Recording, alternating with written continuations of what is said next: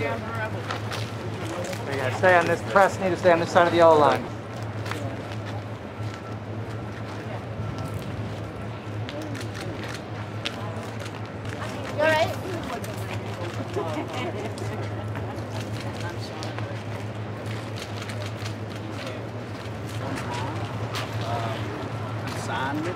And then also another law office over here. Интересно,